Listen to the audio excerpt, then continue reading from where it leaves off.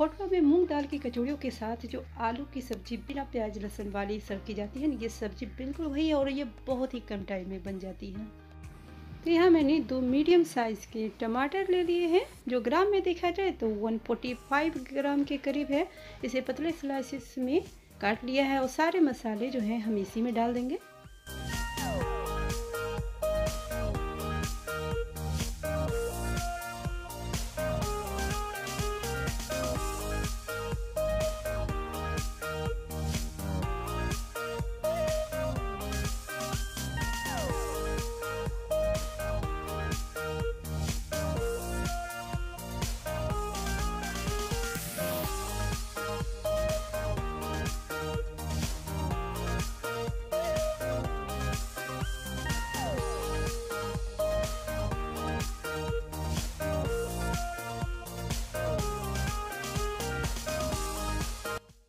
तो फ्लेम हमने हाई में ही रखा है और जीरा का कलर जैसे ही चेंज हो जाए, बस इसमें हम डाल देंगे टमाटर और सारे मसाले।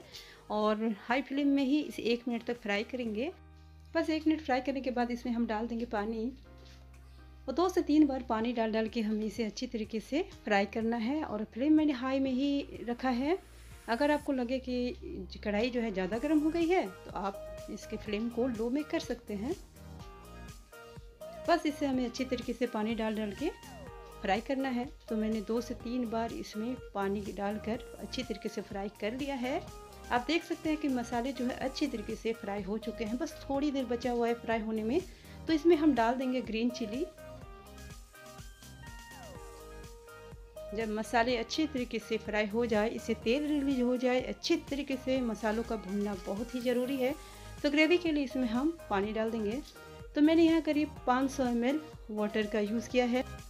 तो मैंने ग्रेवी को हाई फ्लेम में ही बनाया है। इसे हम बॉईल होने के लिए छोड़ देंगे। और यहाँ मैंने आधा किलो 500 ग्राम आलू ले लिए हैं, जिसे मैंने बॉईल कर लिए हैं छोटे छोटे टुकड़ों में। जैसे मूंग दाल की कचौड़ी के साथ जो आलू की सब्ज़ी दी जाती है, उसमें आलू बहुत ही छोटे छोटे पीसेस में होती हैं। जब ग्रेवी खोलने लगे, तब आलू हम इसमें डाल देंगे।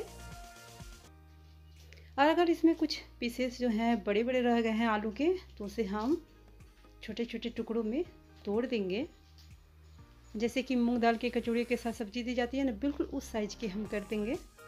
और इसे बीच बीच में चलाते रहेंगे। तो यहाँ मैंने फ्लेम को लो में कर दिया है और इसे लो फ्लेम में थोड़ी देर पकने देंगे। वैसे हमारी सब्ज़ी जो है बिल्कुल रेडी है, आप देख सकते हैं। इसकी ग्रेवी भी हमें ज़्यादा गाढ़ी नहीं रखनी है दोस्तों। तो बस मूंग दाल की कचौड़ियों के लिए हम इसी तरीके से सब्ज़ी बनानी है और यह बिल्कुल होटलों में दी जाने वाली सब्ज़ी जैसी है। आप इसे बार ट्राई घर में ज़रूर करें। दूसरी बात है, जो प्याज लहसन नहीं खाते हैं, उनके लिए भी ये सब्ज़ी बहुत बेस्ट है। तो अगर आप लोगों को हमारी रेसिपीज़ पसंद आते हैं तो लाइक करें कमेंट्स दें फ्रेंड और फैमिली वीडियो को शेयर करें। प्लीज़ सब्सक्राइब बटन दबा दें, नीचे के बेल आइकन दबा दें, जिससे मेरी नेक्स्ट वीडियो के सारे नोटिफिकेशन आपको मिलता रहे। Thank you